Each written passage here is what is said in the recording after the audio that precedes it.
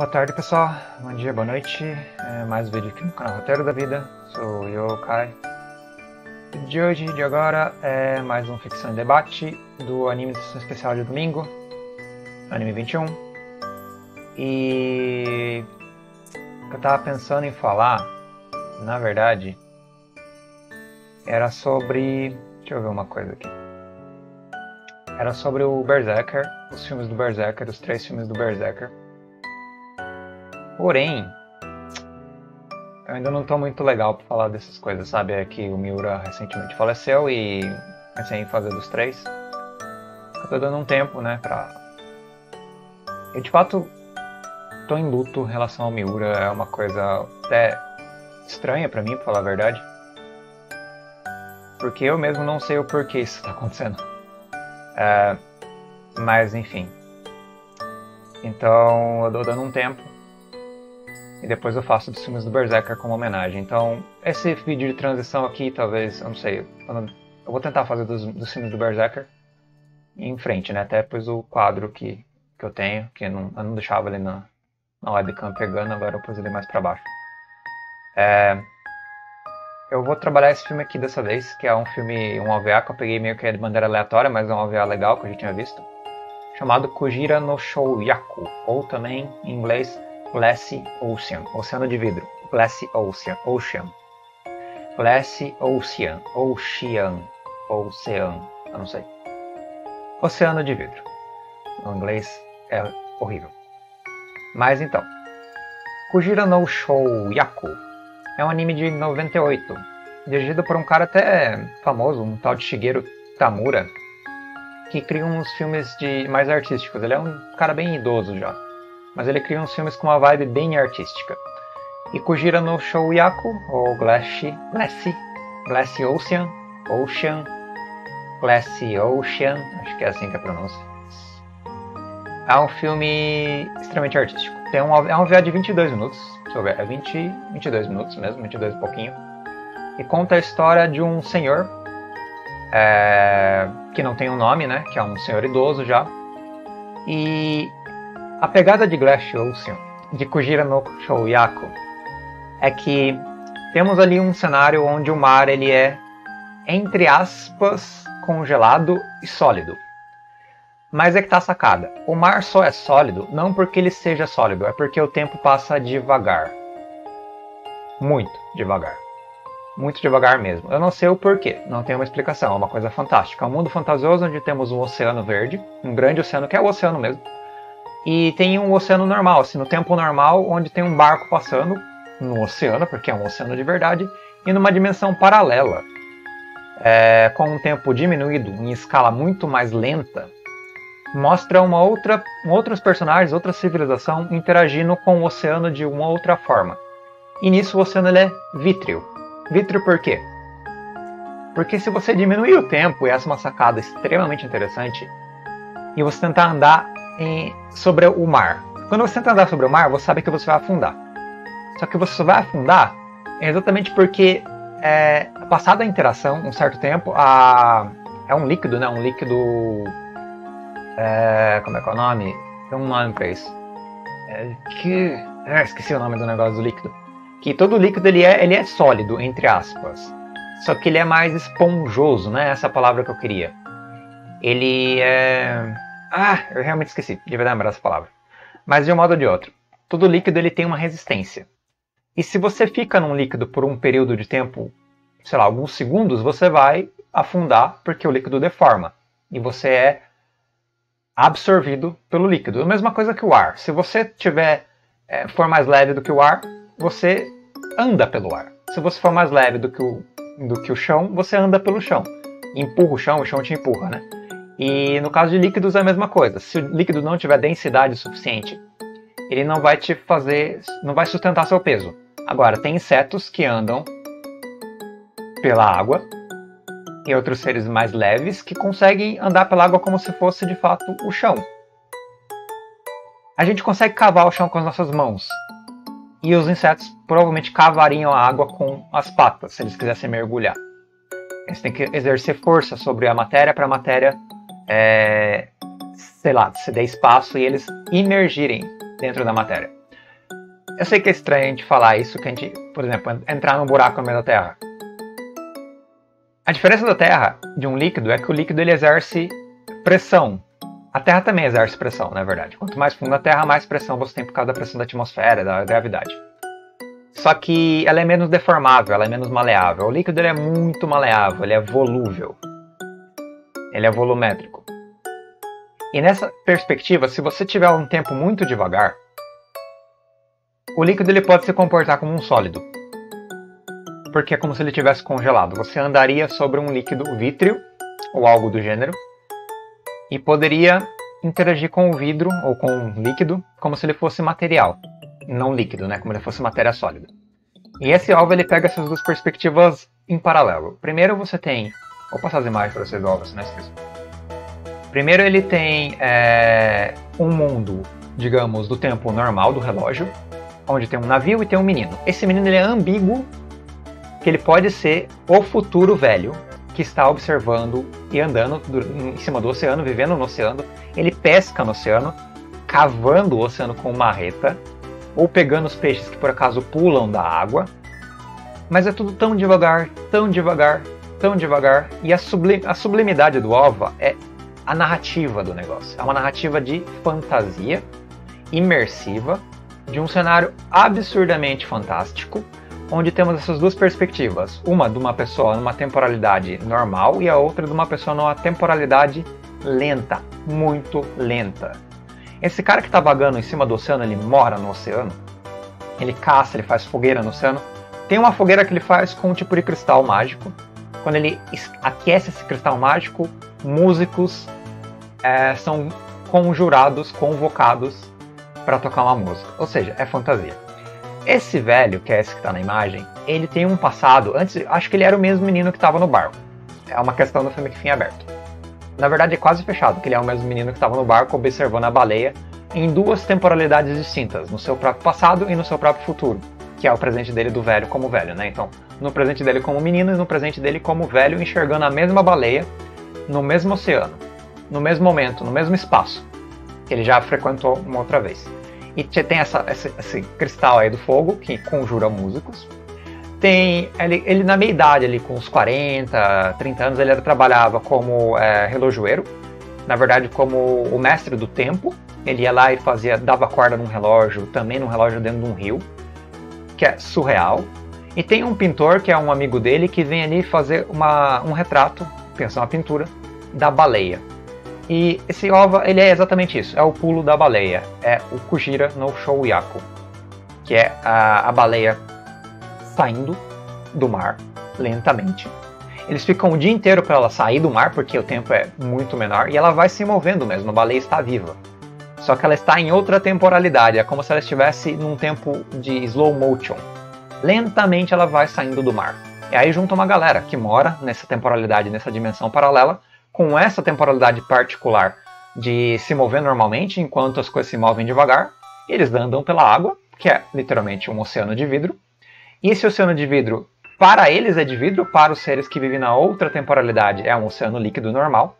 E essa baleia que vive no oceano, junto com os peixes e outras coisas, está pulando do oceano. E aí vira tipo uma espécie de o grande evento raro onde todas as pessoas que vivem nessa outra temporalidade vão ali presenciar e contemplar a baleia saindo do mar, saindo completamente do mar, pulando mesmo, metros acima da, das ondas, metros acima do, do, oceano de vidro, planando um pouquinho, né, entre aspas, né, e novamente mergulhando dentro da água.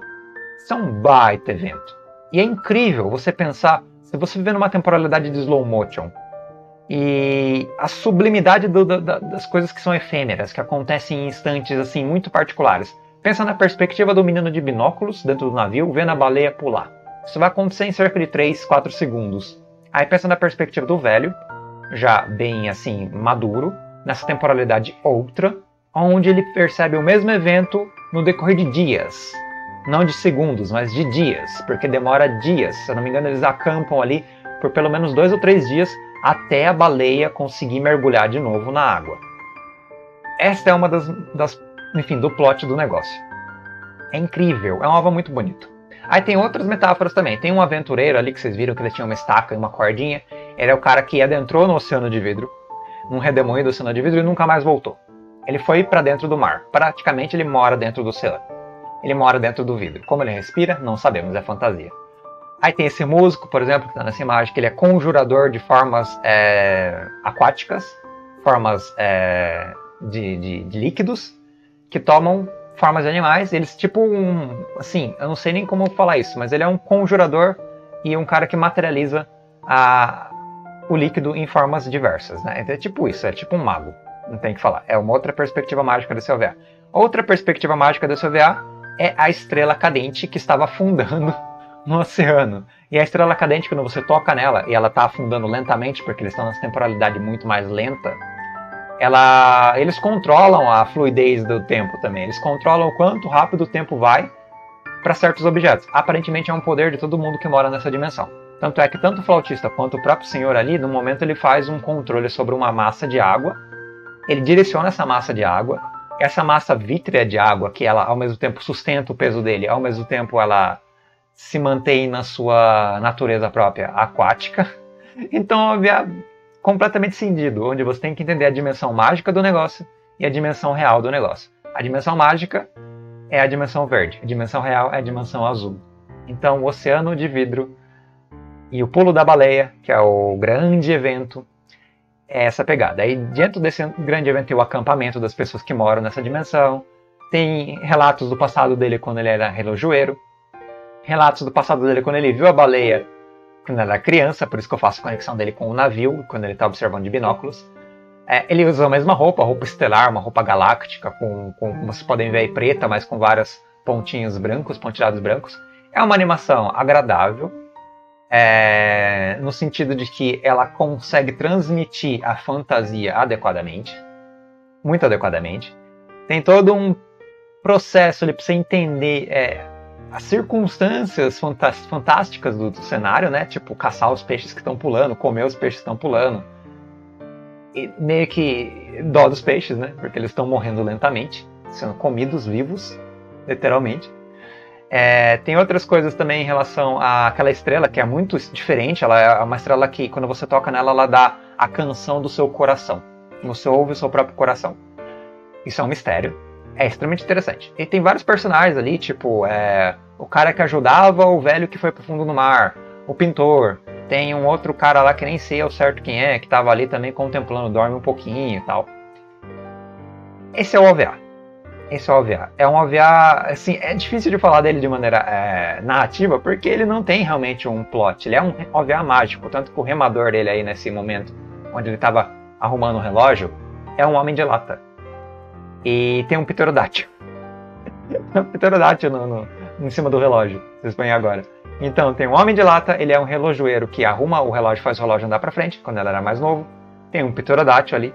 Tem uma baleia que pula lentamente no tempo dele, mas no tempo dela, como se ela estivesse vivendo normalmente no oceano. Então, essa, esse universo cindido é como se você tivesse uma perspectiva de um, de um universo paralelo que vive ao lado e não é percebido. E tem esses prédios também que são legais. Os prédios eles querem fazer as cidades nas orlas é, do deserto. Eles vão para a praia, vão se estabelecer na praia, nos oásis, e vão criar uma civilização nos oásis dentro do deserto. E essa é a metáfora dos prédios. Agora você me pergunta: por que diabos eu fiz esse OVA? Porque ele é bonito, no sentido artístico mesmo. É extremamente artístico, extremamente contemplativo. É, é uma linguagem narrativa despretensiosa, que está ali buscando apenas é, passar e transmitir é, essa aventura fantástica de um instante que, assim, não dá para explicar em palavras. É uma vivência, é uma experimentação visual, uma experimentação de animação, uma vivência de uma fantasia que você só compreende contemplando ela. É extremamente contemplativo. Você pode fazer várias teorias, as teorias temporais, como eu já fiz aqui do vidro, por um bom tempo, da temporalidade ser lenta e você conseguir se sustentar em cima da água, como eu fiz também no início. Dessa civilização estranha que interage e vive no oceano, no oceano de vidro, também é interessantíssimo. É, é simplesmente assim, eu sou limitado demais para entender esse OVA. Eu tenho que assumir, eu não consigo imergir numa fantasia tão sublime e tão fora da caixa que eu não consegui nem descrever. Tanto é que tem até um anjo ali naquela imagem. Como vocês podem ver, tem seres alados que vivem embaixo da, do mar. é um, uma, uma aglomeração de, de, de elementos diversos é, colocados numa perspectiva extremamente fantástica, extremamente é, narrativa e dócil, é, sim, muito calorosa, entendeu? É uma perspectiva artística, é uma obra surrealista, se você quer jogar para esse ângulo, é surreal. Isso aqui é essencialmente um anime surrealista.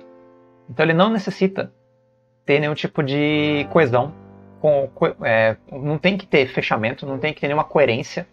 Ele é um momento. Tem até o gato dele, que o velho anda com o gato, né? O gato também é do mesmo universo que ele. Então é um bicho de estimação que, anda com ele. Então é isso. É inexplicável, é contemplativo, incrível e vale a pena, porque é 22 minutos só. Logicamente que é uma coisa que você só vê pra, enfim, curtir, porque ele não tem ambição nenhuma é, em nenhum modo. Tem um pintor ali que acaba retratando a situação, que é, assim, é poético, simples assim. Eu vou parar por aqui porque senão eu não vou acabar esse negócio. Então é isso, pessoas. É, esse aqui foi o OVA que eu vi para fazer o review. Eu tava criando uma coisa leve e acabei pegando uma coisa extremamente difícil no sentido de interpretação, porque não tem como esvaziar isso aqui. Você pode interpretar como você bem entender. Então, porque eu queria fazer de Berserker, mas acabei não fazendo falei 16 minutos do negócio. Eu não tô num bom dia. Não tô num bom dia. Eu ainda tô realmente mal por causa do meu Miura. Miura e tal. É, enfim. E. Bem, é isso. Esse aqui foi o review do MOBA que vocês nunca viram na vida ou se viram que legal. Fala aí, comenta. Vocês provavelmente já esqueceram que viram. Eu também tinha esquecido. Eu já vi pela terceira, quarta vez. Eu esqueço sempre. E agora um artigo, porque eu tô passando a semana com essa lentidão mesmo, porque eu não tô bem. É, é isso aí. É, até breve, pessoas. Vejam esse OVA, procurem ele, é, peguem o nome dele, achem. Ele tem no Sponsor do Spider E vejam ele e digam o que vocês acharam, porque é uma experiência diferentona. Bem diferentona. É, e não dá para dar nota nesse tipo de coisa. assim é impossível. É, mas as pessoas dão. É só pra pontuar esse negócio. E é isso, pessoas. Obrigado por me e até mais. Até o artigo de. Bem, para alocar o artigo em algum lugar, né? Tem que fazer o artigo. Tô improvisando, eu sei disso. Falou, aí. Espero até o próximo anime de domingo. Talvez Berserker, não sei ainda. Mas talvez mais um anime de transição, talvez. Que eu acabei de terminar os, os One Pieces, né? Mas eu sei. Falou, pessoal.